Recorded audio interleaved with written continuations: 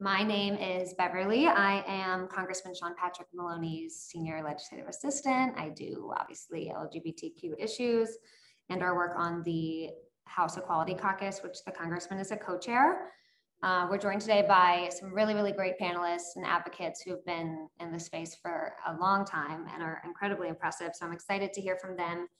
We have KJ, we have Sam, we have Sharita, and we have JoDee. Um, I'll let them introduce themselves and kind of talk about what they're working on and what they're excited about um, this Pride Month as we wrap up June.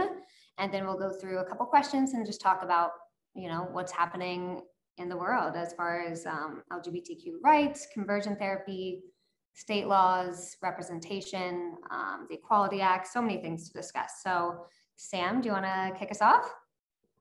Sure. Hey, y'all. Uh, my name is Sam Brinton. I use they and them as my pronouns. I have the illustrious honor of serving as the Vice President of Advocacy and Government Affairs at the Trevor Project. If you don't know what the Trevor Project is, we're the nation's largest suicide prevention and crisis intervention program for LGBTQ youth.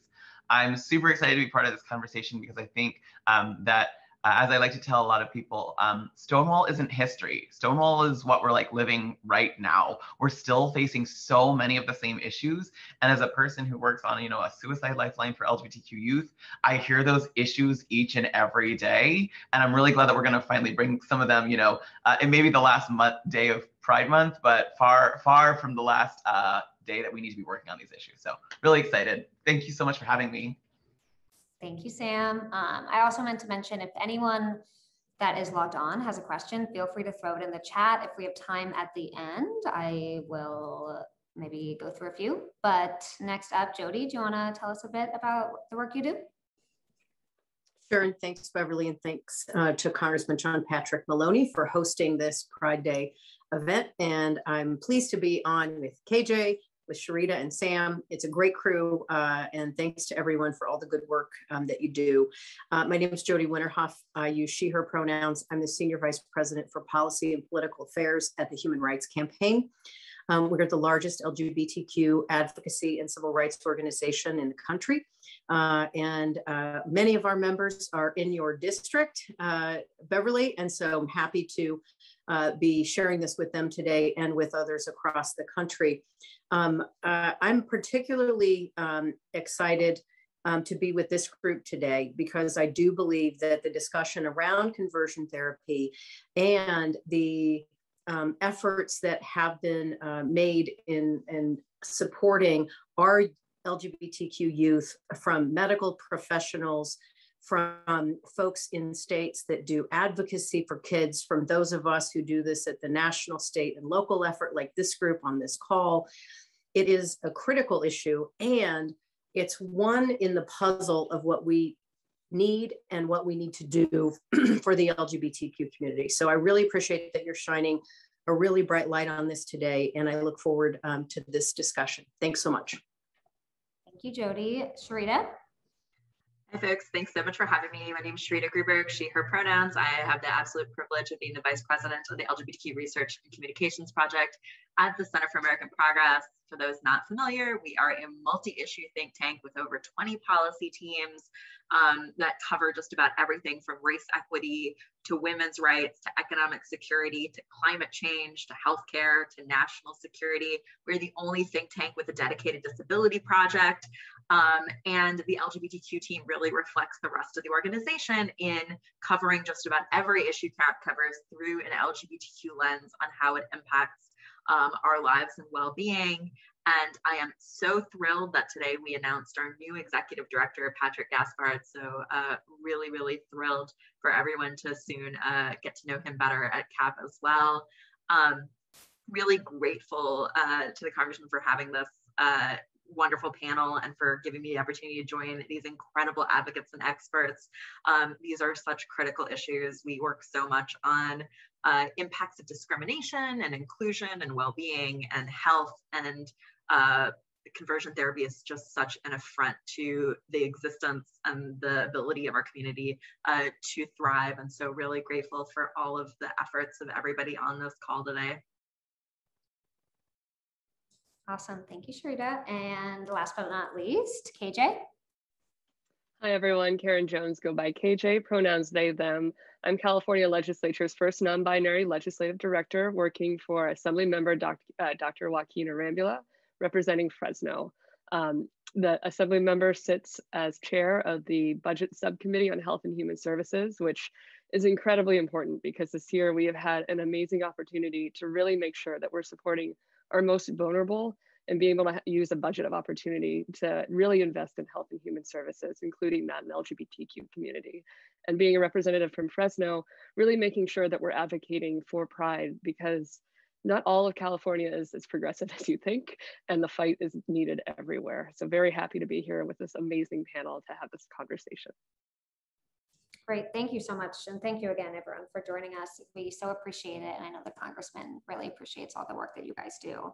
So let's get started with um, conversion therapy, which is an issue really important to the boss. Um, for the first time in history, state legislatures have been considering pro-conversion therapy bills designed to enshrine the practice of conversion therapy in state law. We can see this in Texas, Arizona, North Carolina. How do we combat this effort at the federal level? Um, and what is kind of a number one first step? JoDee, if you wanna touch on that, that would be great. Sure, and just to give some context, certainly not for this this panel, but for those in the audience, you know, I, think it's it's also good to know that you know there are various names that conversion therapy. Sometimes it's known as reparative therapy, and it, it's a range of dangerous and discredited practices that falsely claim that they can change a person's sexual orientation or gender identity or expression. So, you know, mainstream medical uh, associations, providers have just up and down um, uh, the, the list rejected these practices. It's important to know that the basis on which these are done are not based in medical science and are not supported by health providers and associations. So just to kind of set the context a little bit, Beverly, and one of the challenges of, of thinking about what can we do federally you know, I sometimes talk with my hands. So sorry, my hand flops up and down, but it's I, I can't help myself. I can't I can't talk and put them on the table.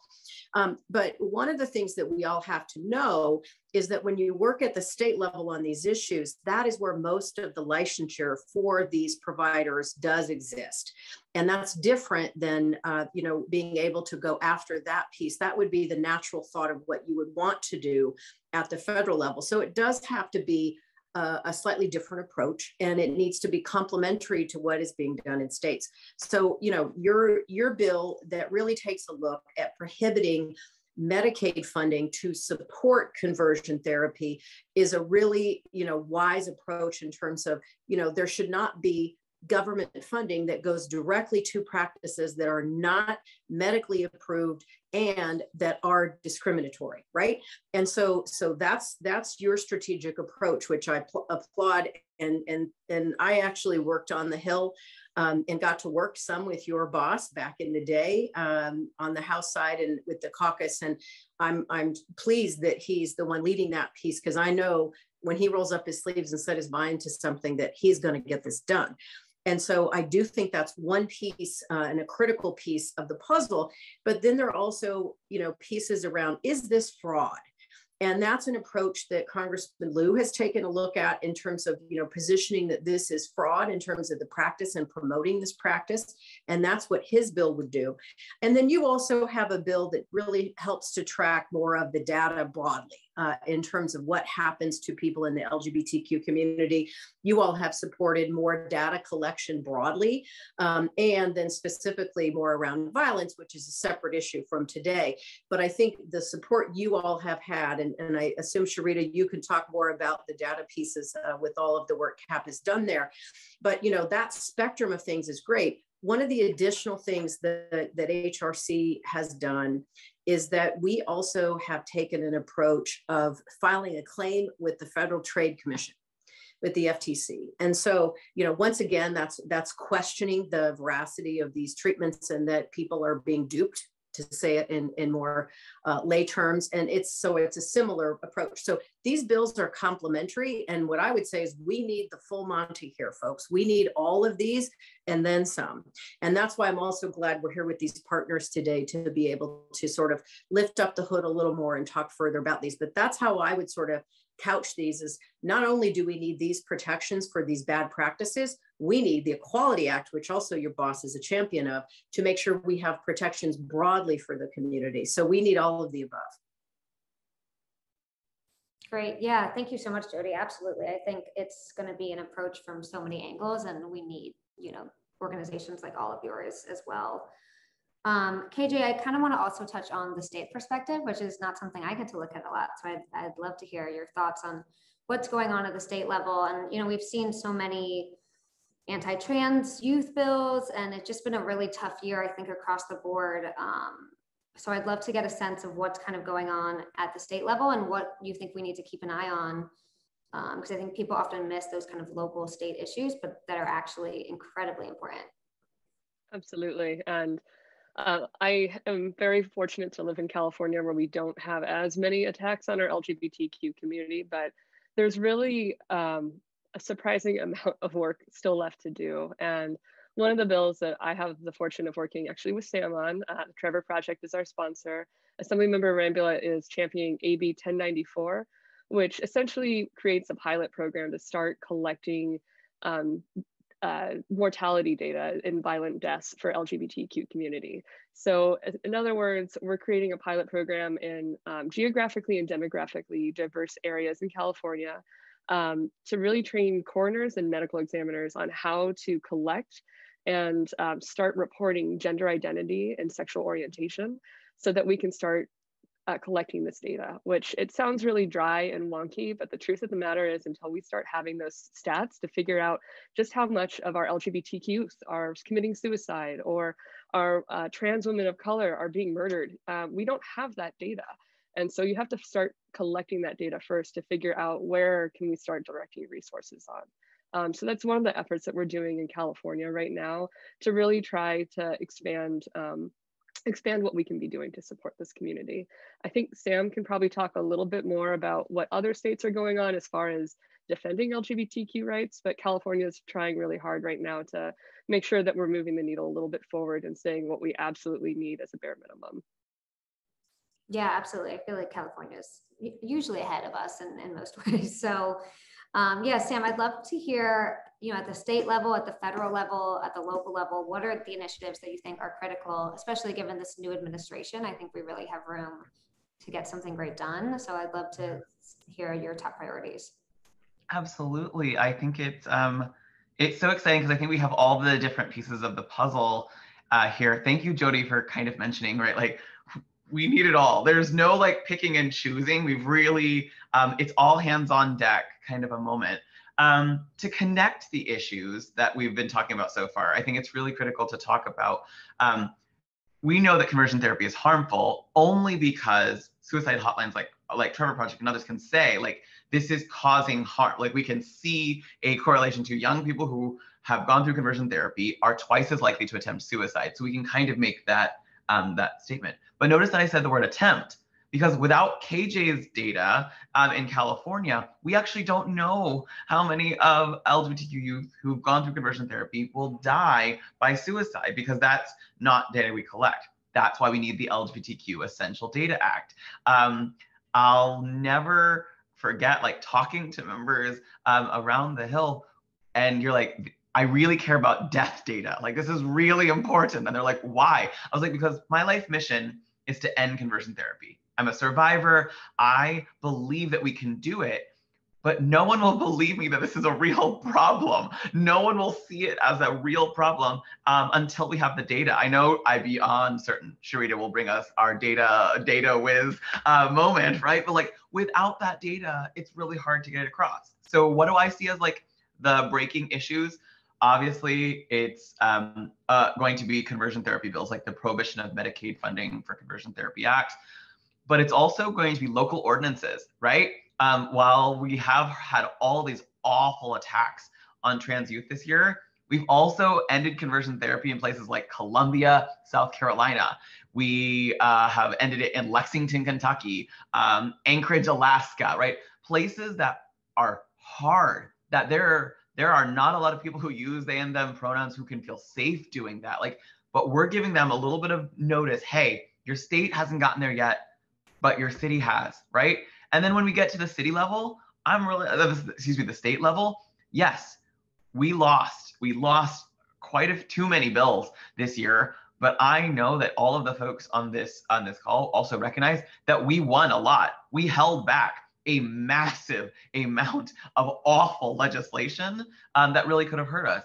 And in federal levels, we're actually moving forward. I know uh, you are also a signatory onto the really bill that I was really proud of last year, the National Suicide Hotline Designation Act. Not necessarily what we're talking about today, because we're talking about death and conversion therapy. Woohoo, go pride! But um, more importantly, it's making sure we have the resources. When someone goes through conversion therapy or is thinking about suicide, they need a resource. And that's why the National Suicide Hotline Designation Act, the very first pro LGBTQ bill to ever be unanimously voted on by Congress, uh, is a really important thing for us to remember as we're trying to get into the next step. So all of these are connected. The biggest part to remember is that we need data and the data that we have is already proving to us that we need to end conversion therapy. So like trust the data you have and get better data to keep proving the fact. Amazing. Thank you, Sam. Um, yeah, and I think it's it's great that you mentioned the suicide hotline and the bipartisan support for that because that kind of ties into my next question, which is that we voted on the Equality Act again this Congress and we lost Republicans. Um, I think we went from eight to two, maybe. Um, so I'd love, Sharita, if you could touch on just why the Equality Act is so important and also, you know, if you have any thoughts on how we can strike some coalition building with the other side. Obviously, you know, we kind of need some of them to join on for some of these so that we can actually get stuff passed. Um, how do we pull some of those moderate Republicans over and like, why do you think we've lost some, you know, this go around? I mean, as folks mentioned, um, we we definitely are very interested in sexual orientation, gender identity data. We fielded with the NORC at the University of Chicago a nationally representative study um, in 2020 on experience of discrimination and impacts.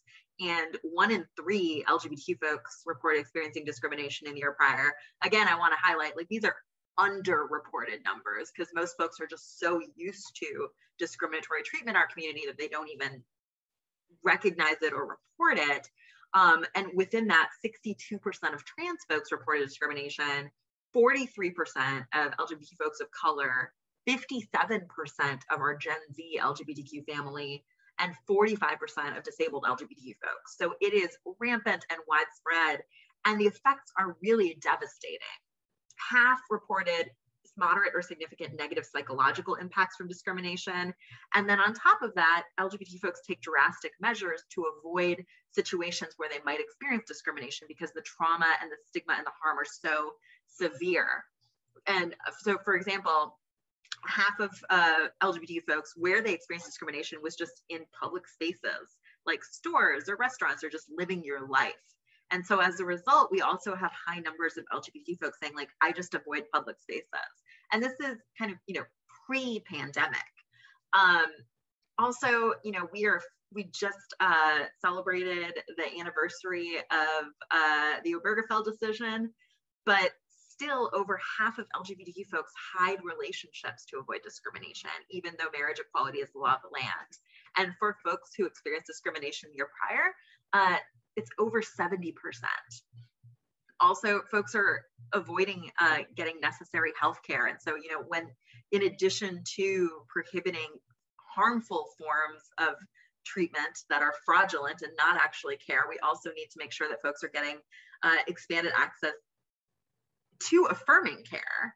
Um, and then when you're talking about you know communities of color and people who are living at the intersection of multiple marginalized identities um, those numbers are so much higher we just put out a report on uh, nationally representative data of experience of discrimination among uh, lgbtq communities of color which is the first kind of data set of its kind out there um, and as I said, like the numbers are just so much more horrific. That's why the Equality Act is such a necessary solution because it modernizes our civil rights laws and makes sure that, you know, folks like me who are religious minorities, racial minorities, and uh, sexual orientation minorities have robust protection for all of our identities in all areas of life where we need it.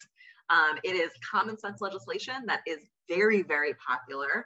Um, President Biden's executive order on sexual orientation and gender identity non-discrimination was more popular than giving people money. It was more popular than the stimulus checks. Like that is how popular LGBTQ rights are right now. That's huge because people love those stimulus checks. Right. True, even among Republicans. Also, Republicans oppose discrimination against LGBTQ folks, including trans folks in healthcare. But what we're seeing is a massive disconnect between voters and where voters stand on issues and the folks that are with you on the Hill. And so what we all need to do is make sure like they are hearing from the voters, that they're understanding and that they're being held accountable um, to their constituents who really don't agree with their votes here. And even on something as, you know, the votes for the Equality Act make no sense. But if you look at Republican support for the Equality Act, even among like in all districts across the country, majorities favor the Equality Act protections. Um, and then also, you know, even something as innocuous as just allowing CFPB to collect sexual orientation, gender identity data in business lending, um, which, as we said, you know, voluntary data, where even uh, Representative McHenry was talking about this being a limited common sense measure. Uh, we got 33 Republicans on it, which, you know, at least 33 Republicans, but it's also shocking that in 2021, we don't have more folks on it. And why? It's because the Heritage Foundation doesn't like any legislation that acknowledges our existence. And so that is kind of the extreme ideology that we're dealing with among some people that really isn't representative of our country and the values our country holds. Yeah, no, absolutely. And I think that ties nicely into the idea that it just isn't the values of our country anymore, but yet our Congress still has such low representation in our elected officials. I think in the entire United States Congress, there are 11 openly LGBTQ individuals, which is abysmal numbers, but the highest that there have ever been. So I would love to hear if anyone wants to pop in, you know, how can we get more of the community in office, which I think will really drive change? Can I jump in here for a quick second? Uh, I really am ready, really am ready for a congressional member to use they and them pronouns. I'm sorry, but I'm really, really ready um, to not feel like I have to educate every single member of Congress on how to respect me because they don't have a colleague who looks or you know has the same identities as I do. Uh, representation is a really amazing thing. And to be very clear to uh, um, uh, the representative, I really am glad that um, uh, Representative Maloney is there, like making a lot of really good trouble. I, I appreciate that.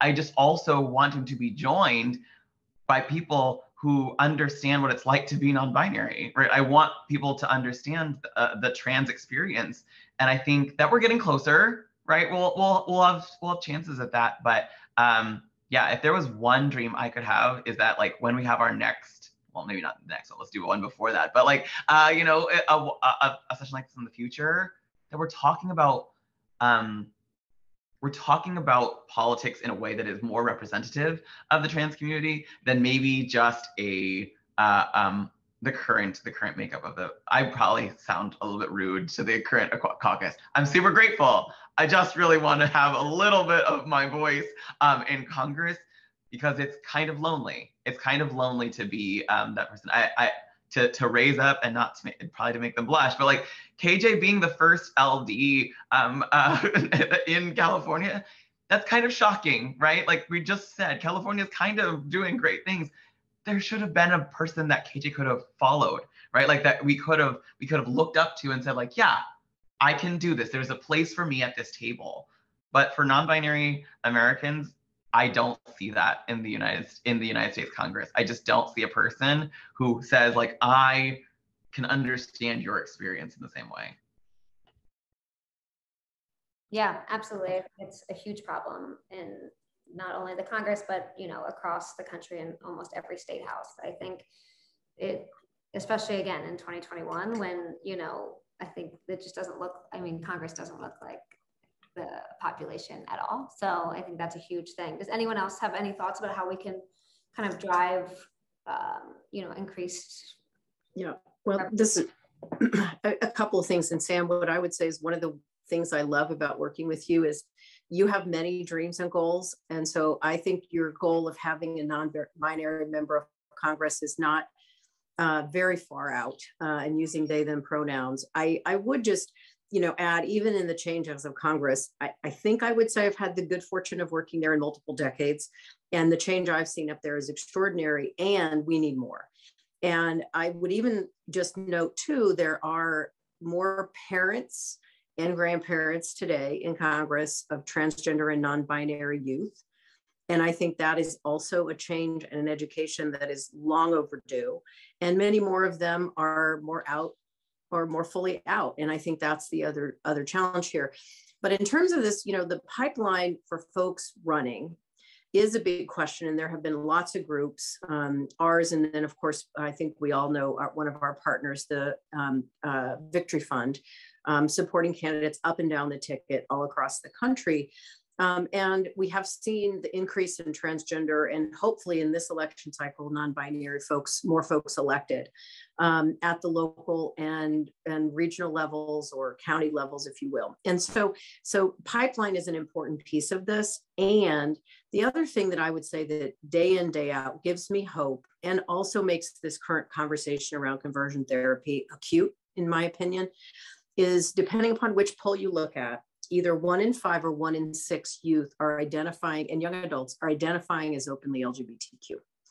And I think that's spectacular. And I think it's going to um, offer us opportunities and challenges in our society and in our electoral spaces and in like everywhere we can think of. And when we think about issues like conversion therapy, you know the the thing that um, i always think about about our community we aren't people might perceive that oh we're in new york and we're in san francisco. Oh no we are all over the country. And i know you know sam you have iowa roots i have iowa roots. I'm not sure where other folks are from but you know i didn't grow up in washington d.c i grew up in a tiny town in iowa. And i think our community and those folks who are coming up and out um, at younger ages are all over the country. And that is one of the key reasons we're going to see change. And it's also one of the key reasons there will be a future pipeline of elected officials. And we are going to start growing that pipeline hand over fist in the next decade. That's my prediction. And I, I don't, it, with all the data, since we're all kind of being data nerds today about some of this, is like, I don't see how it could be any different just seeing the, the level of populations. When I was young, people would say one in 10, but I guarantee you that a good chunk of those folks were well in the closet. That is not what we're seeing today. And I think it's one of the brightest, brightest lights for our movement in our community. Yeah, I, I think this this younger generation is going to knock our socks, off. Absolutely. I think that they're so inspired, so excited to get out there, and they will not take no for an answer. So I'm excited to see the pipeline start with them. It's going to be really great. Um, does anyone else want to jump in, or we can jump to the next question? Those were such great answers. I, I just piggybacking off of that. I think it's not just getting the elected officials, but also getting staffers. And the best way we can do that is providing the mentorship by seeing people that want to have a way to get involved and making sure that we're actively including them and making them feel that their voice is just as important as everybody else. Because i know growing up i'm from ohio so midwest love for sure. Um, you know i didn't have that. I didn't have that mentor who was like me. I had no idea what non-binary was. Maybe that's just because i'm a little older and it's there just hasn't been it. And so the best thing that we can do both as you know having elected officials who are either allies or non-binary or trans themselves is to make sure they're hiring staff and doing outreach in their communities to make sure that the next generation of both staff and electeds are there. Yeah, no, that's a great point. I think that even the Democratic Party has a problem with this. We, you know, say that we want a diverse workforce and diverse staff, and we want to be inclusive, and we need to do that in practice. Absolutely. Um, great. Well, thank you so much, guys. I think those are really, really robust answers. And I guess just to wrap it up, um, I'd love to kind of go around and hear um, what does Pride mean for you personally, and you know, how do you celebrate Pride as we round out June? Anyone can start. Sam usually starts. I I usually start, which is why I was trying to not do it. I was like counting to 10, being like, I'm not doing it. Okay, so well, I'll do it, fine. Um, okay, so here's the thing about pride. I connect pride um, uh, to this like ancestral celebration. Like just like um, any other big holiday where we're remembering something. Um, some holidays are somewhat religious, some holidays are historical, right? There, there's something about it that we're trying to pass down from generation to generation as like this is something to be honored, right? So pride for me is the the ancestral transfer that I don't ever get from my family, right? Like I don't have a family that because of as a survivor of conversion therapy, I will probably never have a family who who shares with me the stories of Marsha P. Johnson, who who um, honors me with Bayard Rustin tales, right? Like who gives me um, moments of Harvey Milk, right? Like that's not my family, but my community, my my community does that. In Pride, there month there's this. I'm sorry, I get so excited. I need to calm down. I get so happy, but like Pride Month is this awesome time where where people who aren't from the same generation as me will tell me what it was like to be that one in 10, right? Where I get to talk to, to um, young people in the middle of nowhere and say, you know what? There's a place for you in this world. Like I get to walk the halls of Congress in my stilettos and not a single person bats an eye. You get to do that too whenever you come and visit, right? Like that's that's what pride is. Pride is that transfer that we may never have from a family, but we will always have as a community. It's so beautiful. Oh, sorry. Gosh. Okay. Well, who's going to top this? Sharita? This is why I wasn't going to go first. Exactly. Shoot, I should have gone first so I didn't have to follow that. um, I mean, I'm just so obnoxious during Pride, I feel like, because it is that time to celebrate. And I think this year in particular, like the last year has been so hard for so many of our communities and then with all of the violence being inflicted on folks it's just been a release this year and like a, a taking of space that we deserve to take. And i'm so very aware of the privilege i have to be in dc and be able to be open and myself. But unfortunately like even in dc i've heard of um, friends in my community and folks that i know who have been under assault even this month. Um, and so, it, you know, it's, I kind of hold these two things where I, we are so privileged to be here and so fortunate. And I want every single person in my family in the country to feel this way and to be this free. Um, but then also it's a reminder that, you know, we're not there yet and we've got a ways to go. And I think that's also to talk to Sam about like this um, heritage that we have is one of struggle and one of fighting for our liber for our collective liberation. And so i think that's like the other aspect of this. It's a celebration and a reminder of the um, struggle and fight that we continue uh, to be a part of.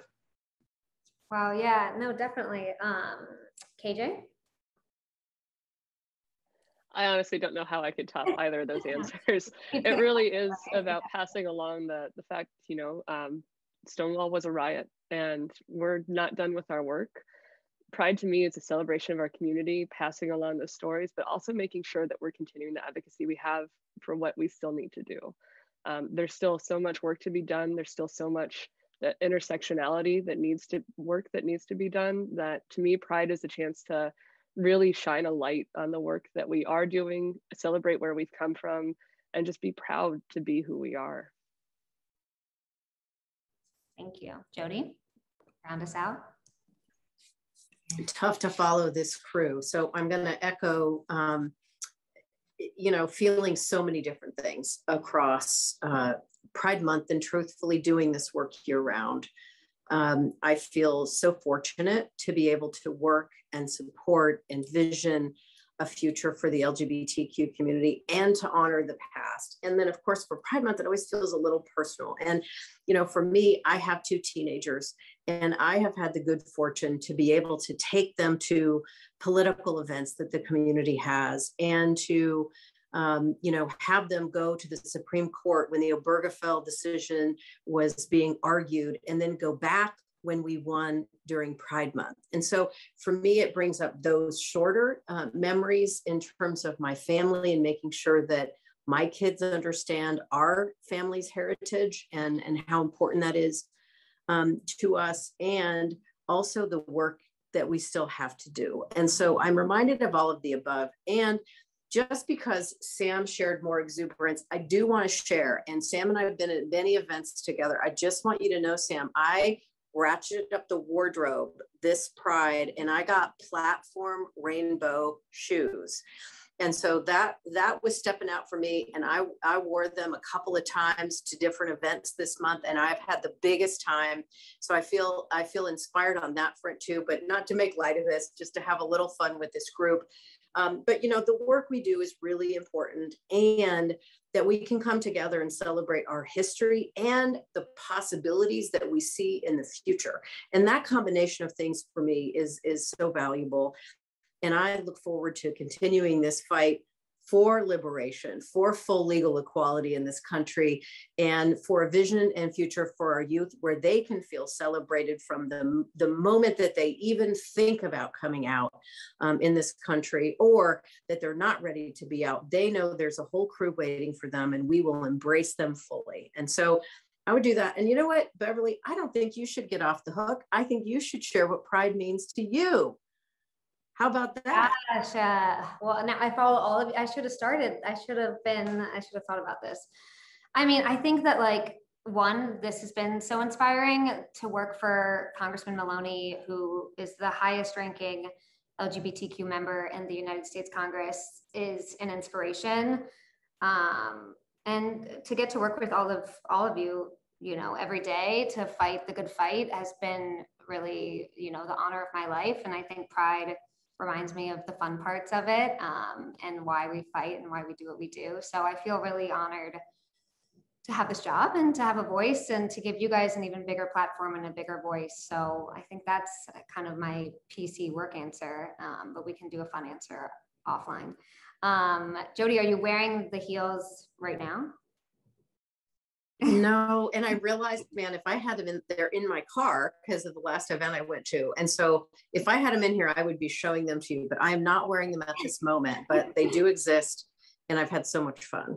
Well next time can't wait to see them. Yeah. Can't wait to see them.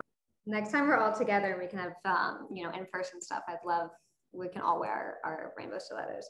Um, well thank you so much guys. I know you are incredibly busy this month. Um, this has been really really informative lots of really great data, which I think adds context for people, especially again, you know, I keep bringing up the other side, um, but I think that they like data too. So, you know, I hope that this new Congress, this new administration, we can really get some great things done. And I know that you guys will be by our side the entire time. So, yeah, thank you so much. We'll definitely try and send around a recording and some follow ups, but thank you again. Pops all around. all right. Bye, everyone. Thank you. Take care.